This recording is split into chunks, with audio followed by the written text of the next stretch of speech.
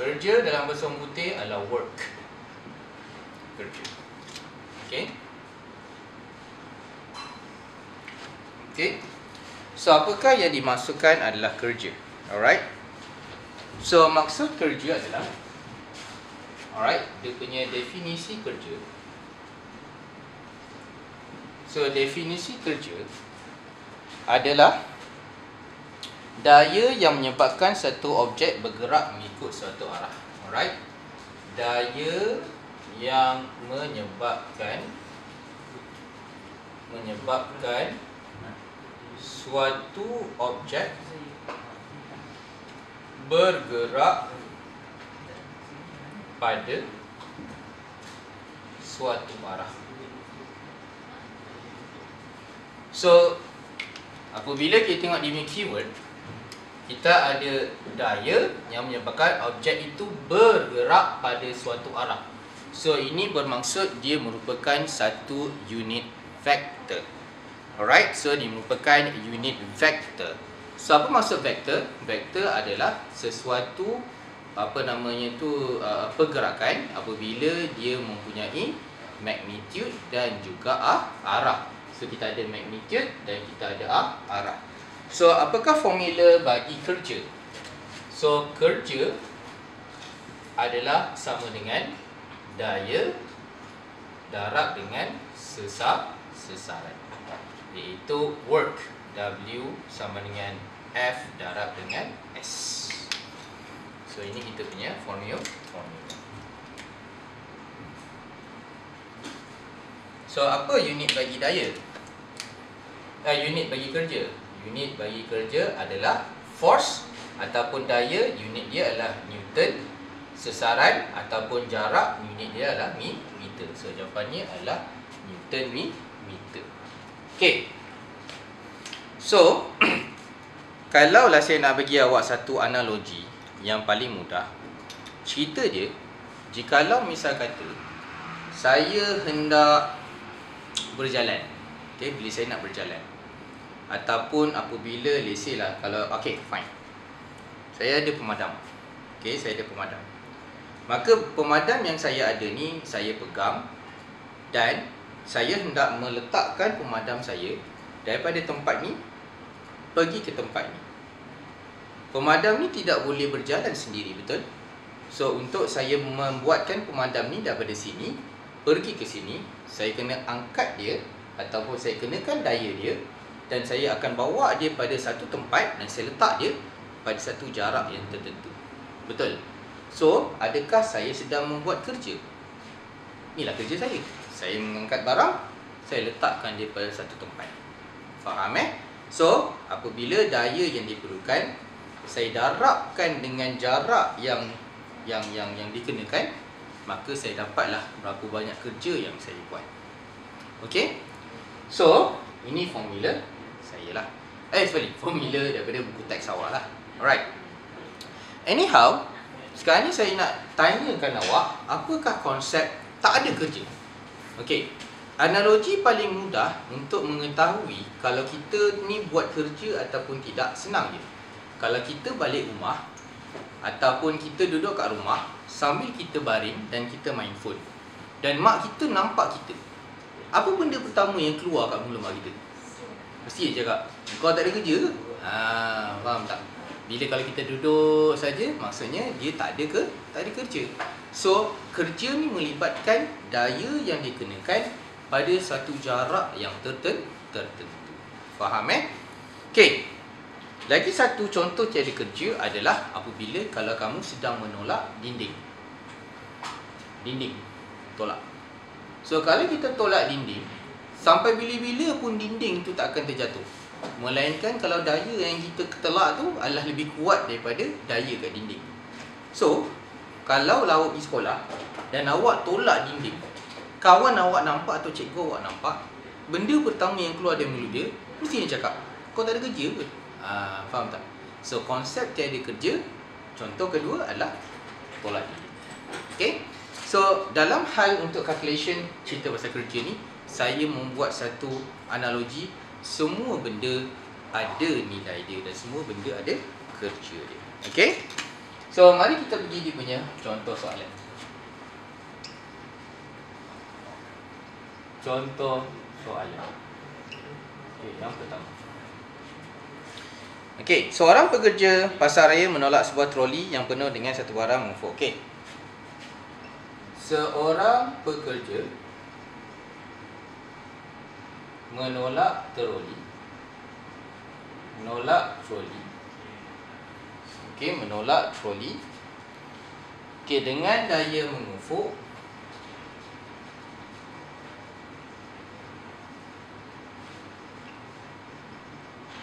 okey dengan daya mengufuk 120 Newton melalui okey melalui satu jarak 15 meter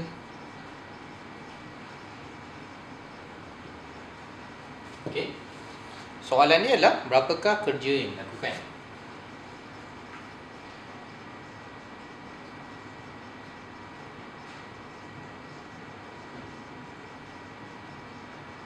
Okey, ini soalan yang pertama. Soalan yang kedua. Okey. Manling menolak. Manling menarik. Okey, Manling menarik. Beg pakaiannya.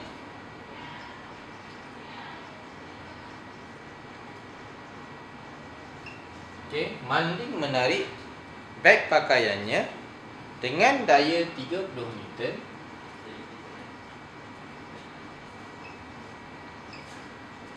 Okey, dengan daya 30 Newton. Okey. Okey pada sudut 40 darjah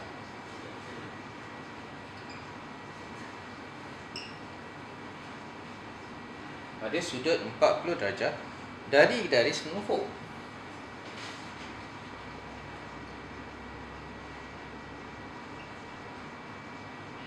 Okay, dari garis mengufuk Berapakah kerja yang dilakukan?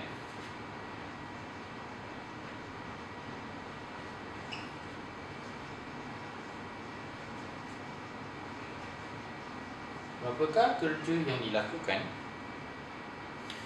selepas dia berjalan?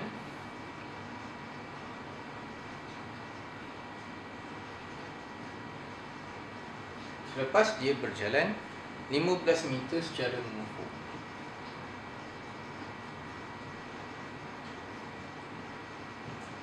Okey, cikgu nak minta awak salin dulu kedua-dua soalan ni.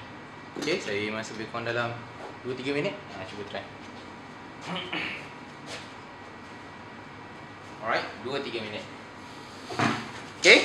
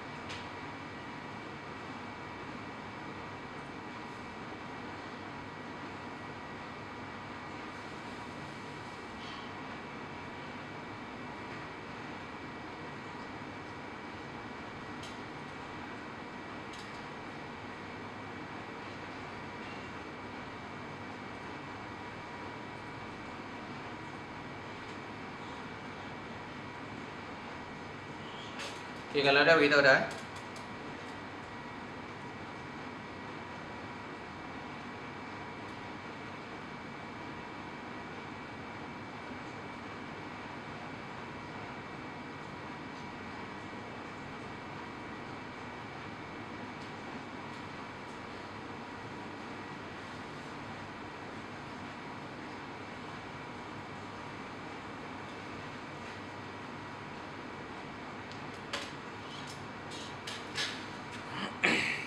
Okay dah eh?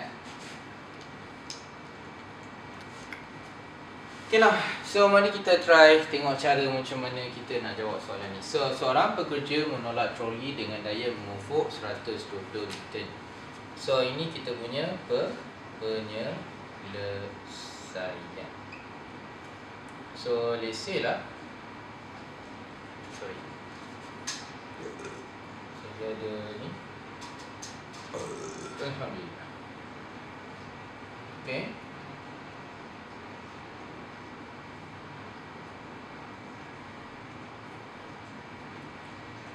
Saya ada troli.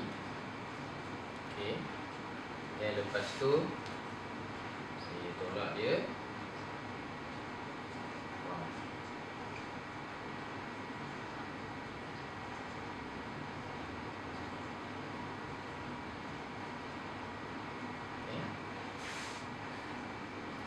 So, mula-mula saya ada troli So, saya tolak dia pada satu daya 120 Newton. Lepas tu ha, pada satu jarak dia bagi tahu 15 meter. Soalan dia berapakah kerja yang dilakukan? So formula kerja W sama dengan F darab dengan S.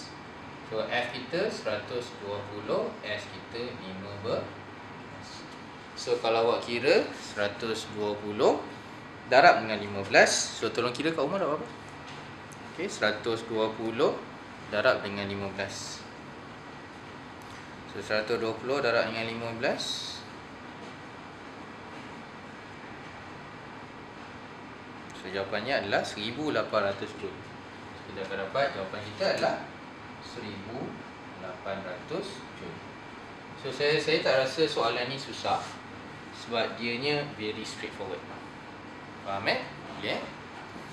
So mari kita tengok penyelesaian yang kedua.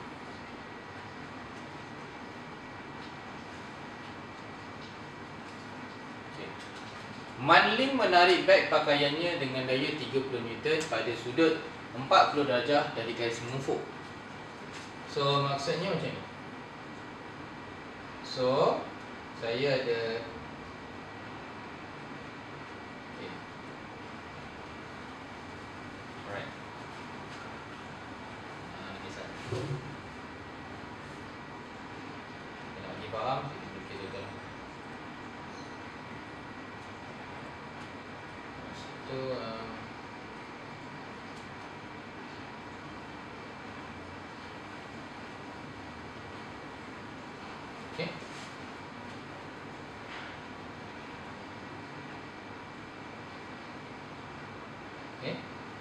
daya yang ditarik tu adalah F sama dengan uh, 30 dan uh, pada satu jarak uh, dia kata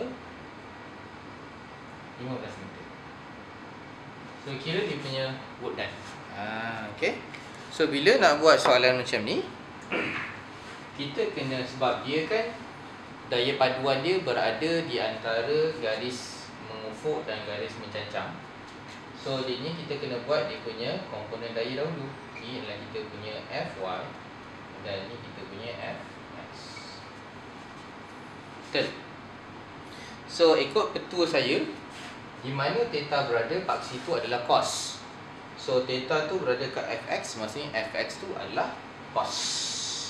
Jadinya Fx adalah sama dengan F cos theta Nampak? So Work done Sama dengan F darab S. So F kita ni adalah Fx So biasanya F cos theta darab dengan S. So F kita adalah 30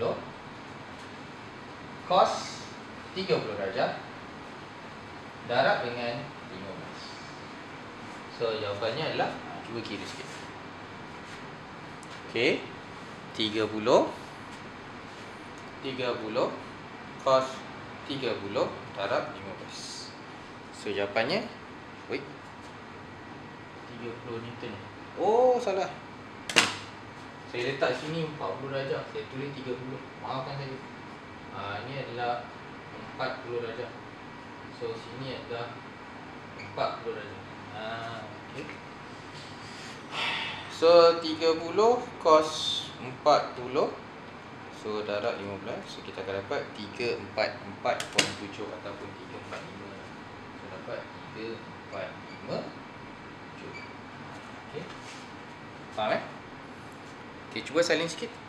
Okay cuba salin